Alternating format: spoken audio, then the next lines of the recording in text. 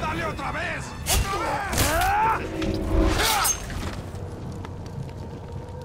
Apuesto a que Gondor cree que eres duro. Bueno, en Mordor tendrás que ser el doble de duro para sobrevivir.